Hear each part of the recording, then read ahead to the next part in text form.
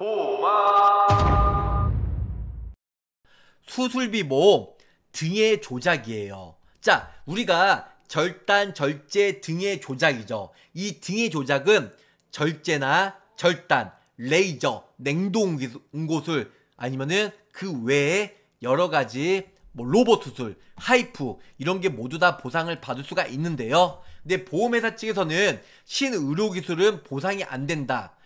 로봇 절제, 로봇 절단 이게 말이 안 맞잖아요. 로봇 시술이잖아요.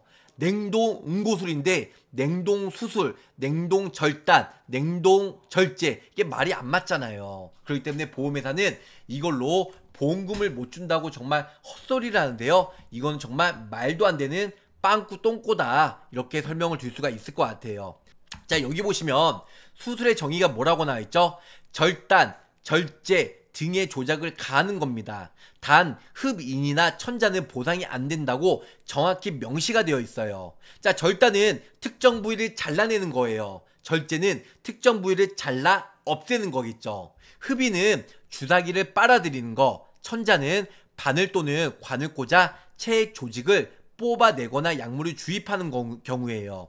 흡입 천자는 안 되지만 절단, 절제 여기 보면 뭐죠? 등의 조작, 등 있잖아요. 등, 등, 등 여기 등 있죠? 등.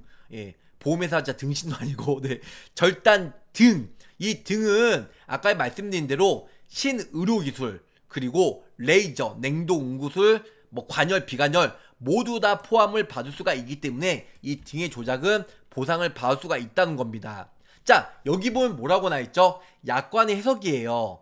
회사는 신의 성실의 원칙에 따라 공정하게 약관을 해석해야 하며 하지만 공정하게 해석 안 하죠. 지네들 유리한 쪽으로 해석을 해요.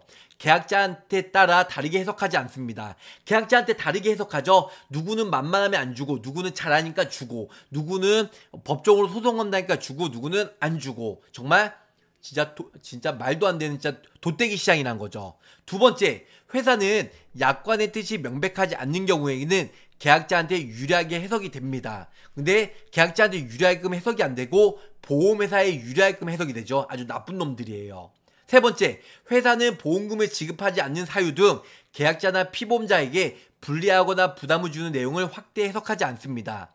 하지만 계약자나 피보험자에게 불리하게 해석을 하죠. 아니 당신 어 보험금 받고 각서 써 다음에 안 주는 조건으로 아니면 법정 소송을 걸어 너네 지면 어, 변호사 선임비도 우리가 구상권 청구를 할 거고 그리고 나중에 보험금 받는 것도 토해내야 돼 이렇게 반협박식으로 한다는 겁니다.